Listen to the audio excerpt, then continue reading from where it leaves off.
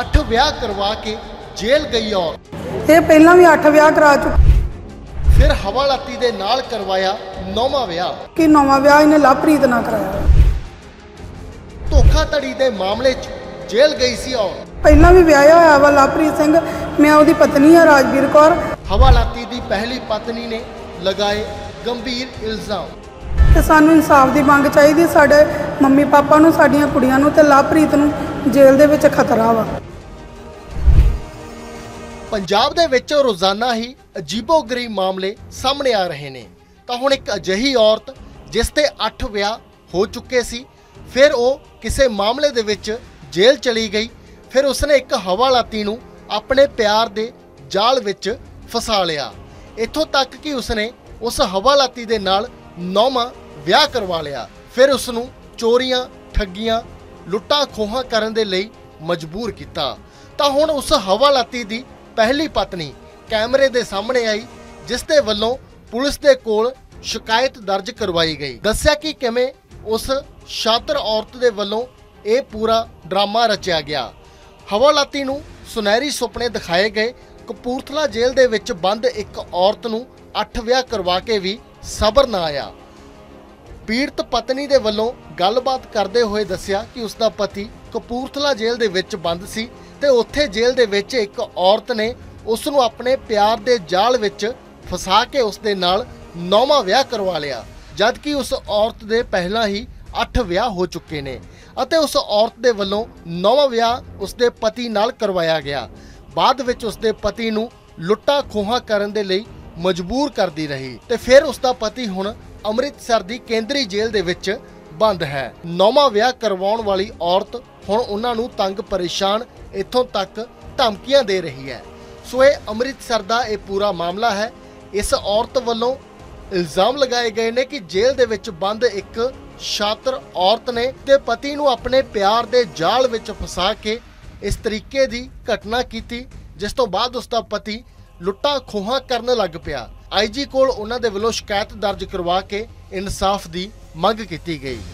ਦਫ਼ਤਰ ਆਏ ਕਿ ਮੇਰੇ ਹਸਬੰਦ ਨਾਲ ਬਹੁਤ ਵੱਡਾ ਧੋਖਾ ਹੋ ਗਿਆ ਵਾ। ਉਹ 5 ਸਾਲ ਕਪੂਰਥਲੇ ਜੇਲ੍ਹ 'ਚ 5-6 ਸਾਲ ਉਹਨਾਂ ਕੱਟੇ ਆ। ਉਥੋਂ ਇੱਕ ਜਨਾਨੀ ਮਿਲ ਗਈ ਸੀ, ਰਲ ਗਈ ਸੀ ਉਹਦੇ ਨਾਲ। ਤੇ ਉਹ ਬਾਹਰ ਆਇਆ, ਬੜਾ ਸੋਹਣਾ ਸੀ, ਆਪਣੇ ਘਰ ਰਹਿਣ ਡਿਆ, ਸਾਡੀ ਮੈਰਿਜ ਨੂੰ 8 ਸਾਲ ਹੋ ਗਿਆ ਆ। ਤੇ ਮਤਲਬ ਕਿ ਉਹ ਬਾਹਰ ਆਏ ਤੇ ਇਹਨੇ ਉਹਨੂੰ ਲਾਲਚ ਦੇਤਾ ਕਿ ਮੈਂ ਕੈਨੇਡਾ ਦੀ ਪੀ ਆ ਰਿਹਾ ਤੇ 40 ਕਿੱਲੇ ਮੇਰੀ ਪੈਲੀ ਆ। ਤੇ ਮੇਰੇ ਨਾਲ ਵਿਆਹ ਕਰਵਾ। ਉਹਨੇ ਬਾਰੇ ਬਾਰ ਕਿਸੇ ਨੂੰ ਦੱਸਿਆ ਨਹੀਂ, ਉਹਨੇ ਜਾ ਕੇ ਜਲੰਧਰ ਕੇ ਗੁਰਦੁਆਰੇ 'ਚ ਲਾਵਾਂ ਲੈ ਲਈਆਂ ਵਾ। ਤੇ ਅਸੀਂ ਹੁਣ ਇਹੋ ਮੰਗ ਕਰਦੇ ਹਾਂ ਕਿ ਸਾਨੂੰ ਇਨਸਾਫ ਦਿੱਤਾ ਜਾਵੇ। ਸਾਡੀ ਕੁੜੀ ਦੇ ਨਾਲ 2.5 ਲੱਖ ਦੀ ਲੁਧਿਆਣੇ ਵਾਲੀ ਦੀਦੀ ਨਾਲ ਠੱਗੀ ਮਾਰੀ ਇਹਨੇ, ਨਾਲ 25000 ਦੀਆਂ ਵਾਲੀਆਂ ਲੈ ਆਈ ਆ। ਤੇ ਵੇਖੋ ਜੀ, ਸਾਡੇ ਪਿੰਡ ਦੇ ਵਿੱਚ ਵੀ ਇਹਨੇ ਕਈ ਜਾਣਿਆਂ ਨਾਲ ਠੱਗੀ ਮਾਰੀ ਆ।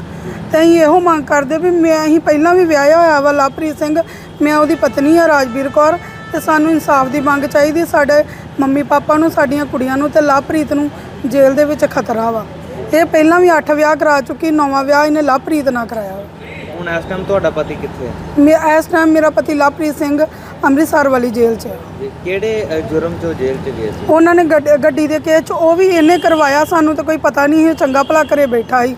ਇਹਨੇ ਉਹਨੂੰ ਲੁੱਟ ਖੋਹ ਅਸੀਂ ਤਾਂ ਅੱਗੇ ਮਹਾ ਉਹਦੀਆਂ ਜ਼ਮਾਨਤਾਂ ਕਰਾਈਆਂ ਉਹਨੂੰ ਮਹਾ ਹੀ ਮਤਲਬ ਕਿ ਘਰੇ ਬੁਲਾਇਆ ਸੀਗਾ ਅਸੀਂ ਲੋਕਾਂ ਦੇ ਕੰਮ ਕਰ ਕਰਕੇ ਉਹਦੀਆਂ ਜ਼ਮਾਨਤਾਂ ਕਰਾਈਆਂ।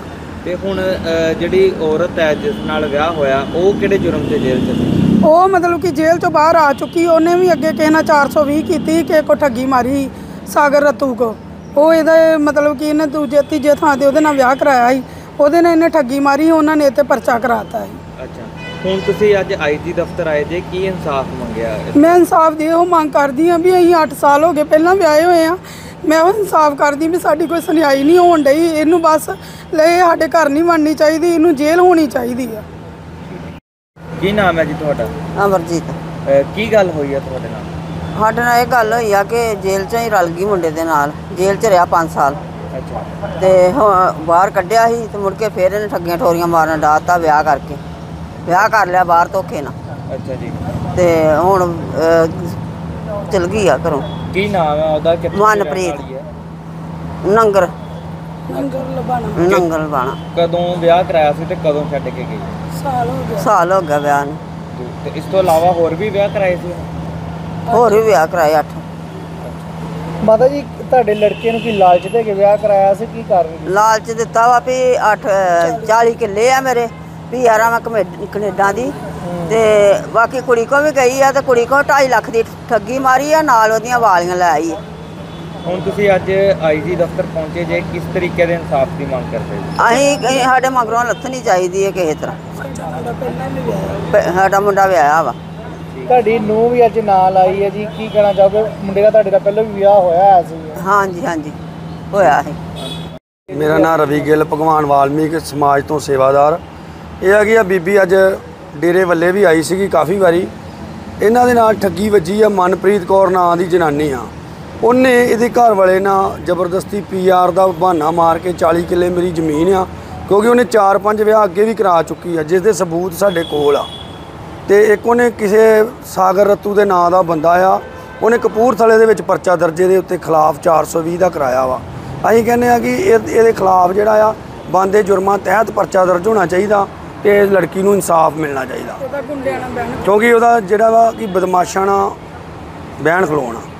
ਇਸ ਟਾਈਮ ਉਹ ਅਹ, ਜਿਹੜਾ ਲਵਪ੍ਰੀਤ ਸਿੰਘ ਨੂੰ ਕੀ ਧਮਕਾ ਰਹੀ ਹੈ ਜਾਂ ਕੀ ਕਹਿ? ਇਹਦੀ ਲਵਪ੍ਰੀਤ ਸਿੰਘ ਨੂੰ ਧਮਕਾ ਰਹੀ ਹੈ ਜੇਲ੍ਹ 'ਚ ਜਾ ਕੇ ਕਿ ਮੈਂ ਤੇਰੇ ਤੇ ਅੱਗੇ ਝੂਠੇ ਪਰਚੇ ਪਾਏ ਮੈਂ ਹੋਰ ਪਵਾਵਾਂਗੀ। ਇਹੀ ਇਹਨੂੰ ਮਤਲਬ ਕਿ ਜ਼ਬਰਦਸਤੀ ਜ਼ਬਰਦਸਤੀ ਕਹਿੰਦੀ ਰਹੀ ਆ ਕਿ ਤੂੰ ਲੁੱਟਾ ਖੋਵਾ ਕਰ। ਜੋ ਵੀ ਇਹ ਵਾਰਦਾਤ ਨੂੰ ਅੰਜਾਮ ਦੇਣ ਵਾਲੀ ਇਹੀ ਜਨਾਨੀ ਆ। ਕਿਉਂਕਿ ਇਹੀ ਮਾਸਟਰਮਾਈਂਡ ਆ ਮਗਰ।